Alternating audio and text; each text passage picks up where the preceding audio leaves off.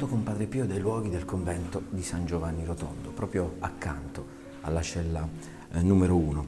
Oggi qui perché vogliamo raccontarvi eh, attraverso le parole di Padre Marcellino Iasenzaniro mh, su, con il libro Il Padre, la missione di salvare le anime tra le testimonianze, vogliamo eh, raccontarvi la storia di Enzo, ovvero eh, un figlio spirituale eh, molto legato a Padre Pio Enzo Picciafuoco eh, di eh, Ancona, che era fidanzato eh, con Emilia, Emilia Barone di Campobasso.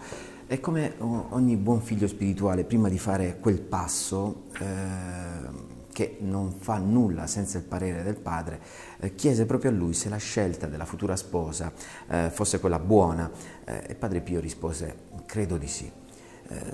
Stando una volta proprio qui a San Giovanni Rotondo, allora pensò, racconta padre Marcellino nel suo testo, eh, che ritornando a casa avrebbe potuto anche fermarsi nel Molise e fare una visitina alla sua ragazza.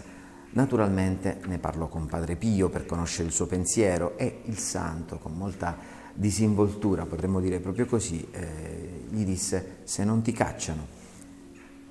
Enzo non rimase soddisfatto di questa risposta e quindi non si spiegava il motivo Pregò allora padre Innocenzo, eh, che conosceva, era suo amico, di domandare nuovamente, fare la stessa domanda a padre Pio. E padre Pio rispose, già gli ho detto quello che dovevo dirgli. Ebbene, allora il giovane Enzo prese il treno, pensò bene di andare direttamente a casa senza deviare per Campobasso, non avendo così avuto l'approvazione di Padre Pio e giunto ad Ancona trovò così un espresso da, proprio da, padre, da, parte di Emilia che gli diceva eh, che se avesse avuto intenzione di fare una visita era bene rimandare il tutto a tempo migliore perché era più opportuno e soprattutto perché la casa era una sorta, scriveva Emilia ad Enzo, una sorta di ospedale di campo, eh, tutti malati tranne lei che doveva fare da infermiera. Enzo allora eh, si confermò nella convinzione che affidarsi a Padre Pio eh, era scegliere per mezzo suo eh, sempre meglio, eh, come lui eh, spesso diceva, e lo vide anche in una circostanza dove la sua famiglia subì un grave lutto. Eh, I due ragazzi si sposarono, Enzo ed Emilia, ebbero una famiglia numerosa, eh, quando proprio la signora Emilia aspettava il sesto figlio, Enzo, eh, come aveva fatto in ogni occasione dei parti precedenti, pensò di andare a San Giovanni Rotondo proprio per parlare con Padre Pio, che lo aveva sempre tranquillizzato, lo aveva anche rassicurato che tutto sarebbe andato bene. Scese così da Ancona anche questa volta e disse a Padre Pio, Padre, eh, come al solito basta la lavatrice? E Padre Pio, tra il serio e il preoccupato, gli disse ci vogliono i medici, Enzo, ci vogliono i medici. Ritornato a casa, lui era in forte stato di agitazione, Emilia portata immediatamente in ospedale, fu sottoposta ad un intervento, il bambino era morto.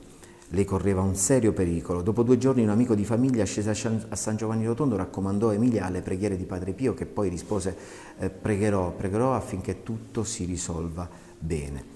Eh, l'amico che era ritornato eh, ad Ancona riferì eh, ad entrambi che quello che Padre Pio aveva detto. Allora la signora Emilia, ascoltate le parole di Padre Pio, disse fra sé, il padre però non sa che ormai eh, tutto si è risolto, ma male.